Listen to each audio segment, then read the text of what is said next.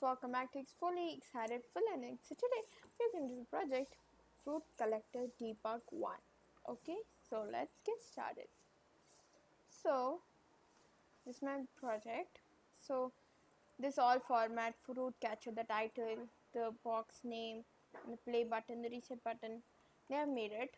But um, when you press the reset button, whatever should happen is to be written by us. And you also have to make a make the name appear on the baskets. Okay so i'll just show you. Rachita. before pressing the play button now the game state is 0 player count is 0 and just these two right? Now when i press the play button here you can see the player count is increased by 1 and the players node um, new node is created okay on its own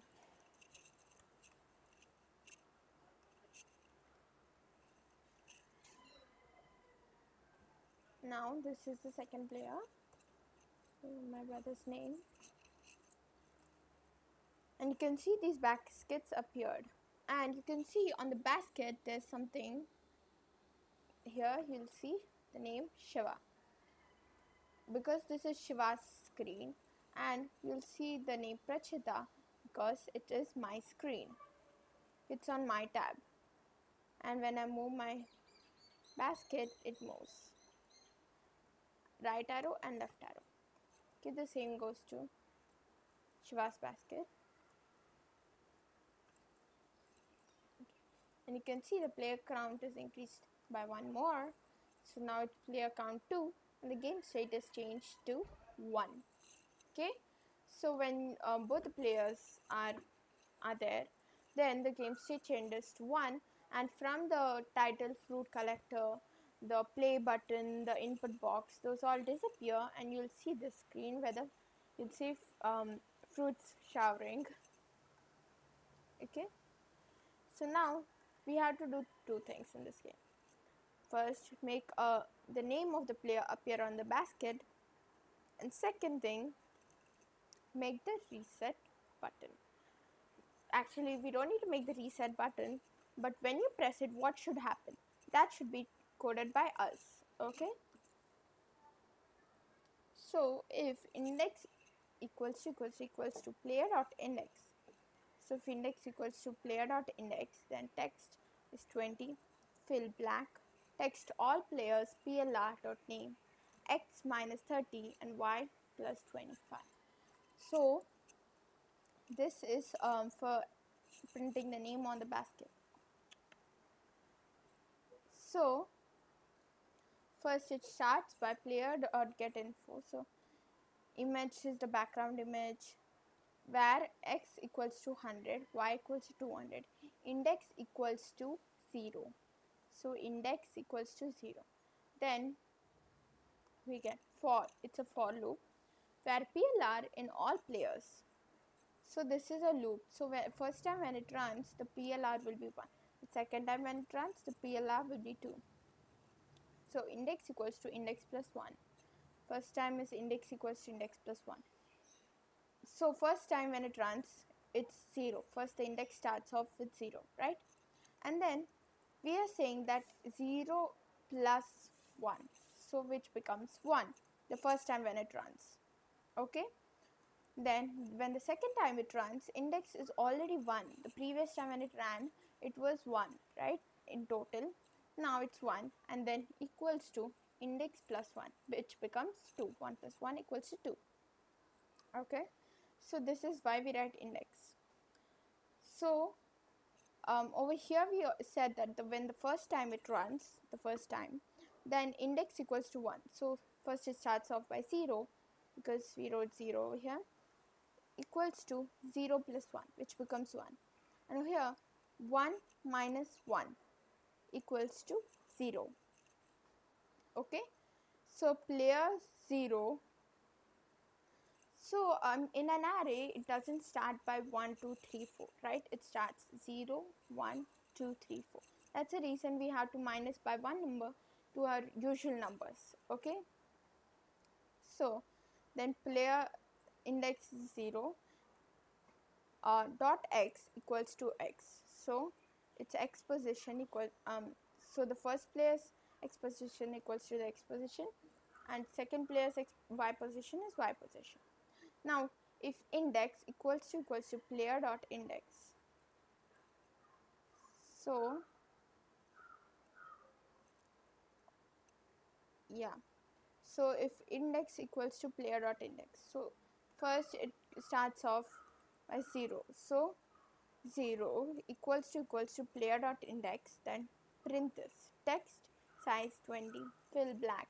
Text all players pla dot name x minus 30 so all players so first it will start off by 1 and then 2 so all player 1 dot name and x minus 30 and y plus 25 then second time for the second player.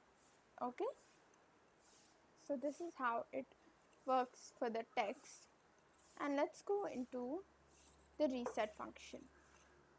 If this dot reset so this dot reset dot mouse pressed then it's an arrow.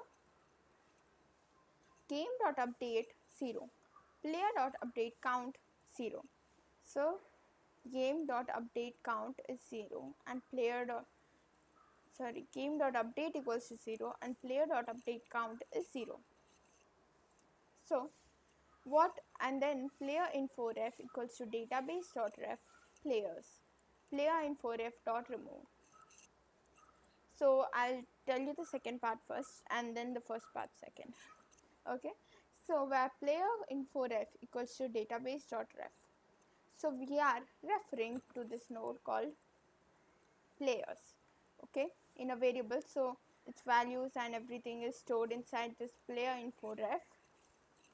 Then we are saying to remove this player info ref. So what is there inside the player info ref? Players node right? So we are ultimately meaning that remove this players node.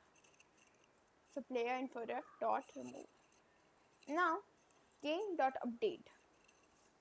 0 player dot update count 0 game dot update so we are updating the game state. So let's first look at these update and update count functions. Where are these functions? Game. Game which is the game class. Player which is the player class. So this function update is in the game class. Update. So right here.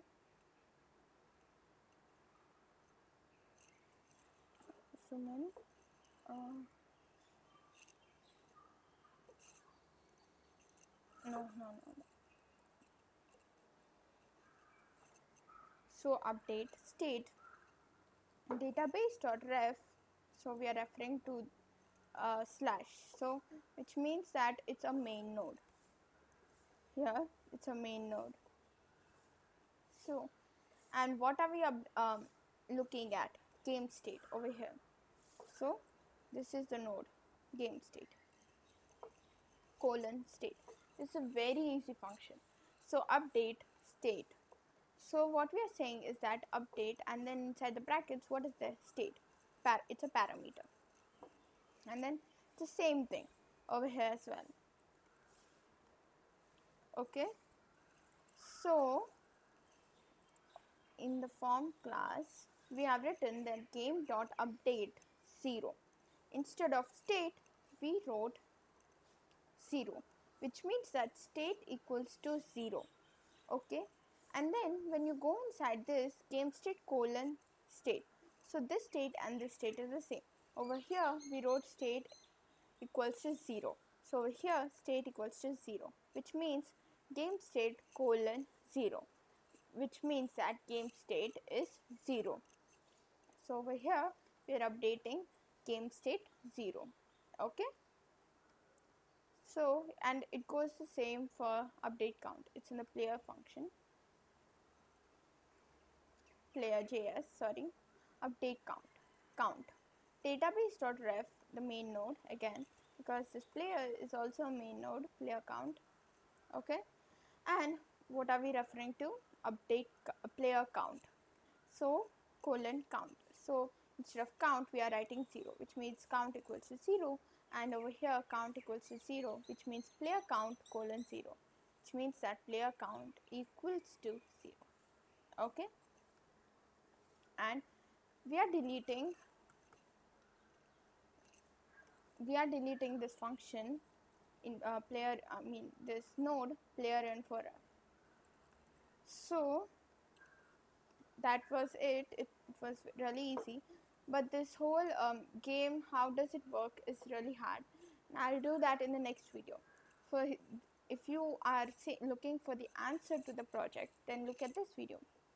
And if you want to know how actually does this um, whole game works then look at the next video that I'm going to update uh, update going to upload so that was it. And if you like this video please like share and subscribe. Don't forget to hit the bell icon. And if you doubt have any doubts queries or, or any suggestions that you want like a video. So the problem is that many of you are asking me some cat and mouse then feed the rabbit. There are some projects. But i've never got those projects. Tata Junior has completely changed the syllabus for each student. I don't know, it's different. I don't know what are they, um, what's their logic about that. But I not getting those projects for some reason. So I'm doing whatever projects I get. So um, if you have any doubts, then always comment it and share the code to me. So just copy paste the whole class or something like that, and I'll try to look at it. Okay. So thank you. Bye. Please subscribe. Please, please, please. Bye.